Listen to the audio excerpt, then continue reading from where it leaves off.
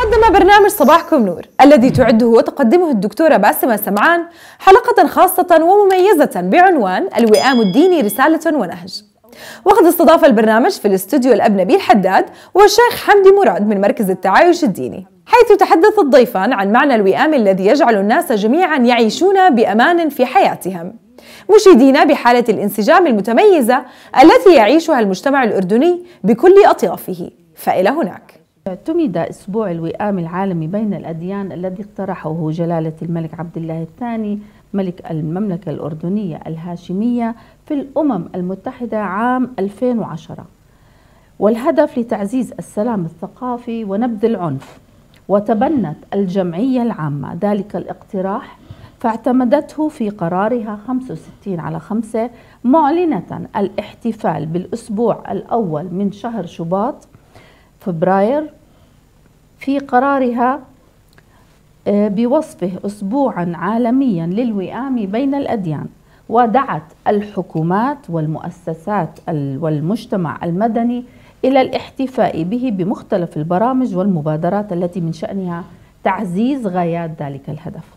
وأشارت الجمعية العامة في قرارها إلى أن التفاهم المتبادل والحوار بين أتباع الأديان يشكلان بعدين هامين من الثقافة العالمية للسلام والوئام بين الأديان مما يجعل الأسبوع العالمي وسيلة لتعزيز الوئام بين جميع الناس بغض النظر عن ديانتهم.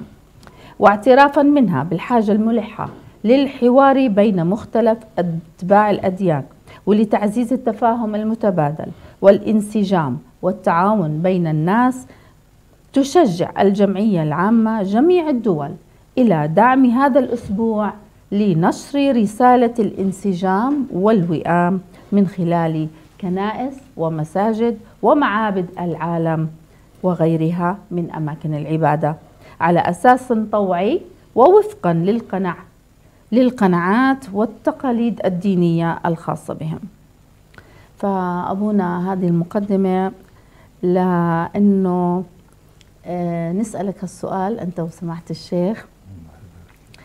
آه، بشكل مختصر يعني الفكرة من وراء مشروع القرار هذا واللي أطلقه جلالة الملك في الجمعية العمومية وتحديدا في 23 أيلول 2010 ندعو لرب الأكوان لإله السلام أن يعم السلام والحب والوئام بين كل شعوب الأرض وبين الناس وفي مجتمعنا. واليوم الثامن من شباط آه، إحنا لم نودع أسبوع العالمي للوئام بين الأديان مع أنه أسبوع. لم نودعه بل أنا أرى دوما في الثامن من شباط هو محطة بدنا نكتنز كل ما تعلمناه في هذا الأسبوع حتى نعيشه على مدار العام. لأن الوئام ليس اسبوعا في السنة ولكنه كما قلنا هو رسالة وهو نهج أسلوب حياة. لهذا نحن آه، أخي آه، سماحة الدكتور حمدي وأنا نأتي إلى هنا لأننا نؤمن أن هذا المنبر الكريم هذا منبر يخاطب الناس ويوصل رسالة نحن نتحدث عن أسبوع العالمي للوئام. نعم. هذه مبادرة قلنا عنها دوما أنها ولدت في الأردن. صنع في الأردن هذا الأسبوع. ولكن قدم هذا المنتج إلى الأمم المتحدة واقترح صاحب المبادرة جلالة الملك ملك الوئام اقترح على الأمم المتحدة وقبلته هذه الأمم المتحدة. من وين اجى هذه المبادرة الثالثة الهاشمية الثالثة. فاتحة المبادرات الهاشمية هي رسالة عمان. نعم. التي صدرت عام 2004 نعم. قبل ال 2004 إيش صار؟ 2001 فوجئ العالم بانفجار. انفجار فكري وإنساني وأمني وإرهابي هذا هذا الانفجار اللي رأيناه في نيويورك في الأمم نعم. المتحدة في في في آه، آه، في الولايات المتحدة. واللي اسمي سمي الحادي عشر من سبتمبر. صار تاريخ قبل ما بعد وما بعد 11 سبتمبر. الأردن حريص دوما. الأردن يؤمن برسالة برسالة الوئام بمفهوم الوئام بقيمة الوئام. والأردن أخذ هذا الدور لأنه أول ضحية للإرهاب لم تكن أمريكا. أول ضحية للإرهاب كان هذا الأردن. اختطفت طائرات فجرت طائرات. صرنا إحنا بالأردن نحارب هذا الإرهاب عندما كان أسبابه وألوانه وأشكاله مختلفة. تحول الإرهاب وأخذ شكل ديني بالألف بال 2001 11 سبتمبر ووضع الإسلام في في في جهة ووضع الغرب في جهة أخرى كان على أهل هذه المنطقة العرب المسلمين المسيحيين وبالذات إحنا المسيحيين نعم. المشرقيين كان علينا دور أن نوضح صورة أنه مش كل الغرب غلط ولا كل المسلمين غلط ولكن ينبغي أن نعمل جنبا إلى جنب. فجاءت رسالة عمان بعد ثلاث سنوات من هذه الحادثة اللي هي وثيقة تقدم الإسلام الآخرين وتدعو باعتدال ووسطية إلى نبذ كل أشكال الإرهاب وترفضه. نحن في القرن الحادي والعشرين كما تفضل الحبيب والتوأم أخي الأب نبيل حداد ونحن أمام هذا العنوان وهذه الشاشة المباركة آه، من خالقنا وربنا الله سبحانه وتعالى.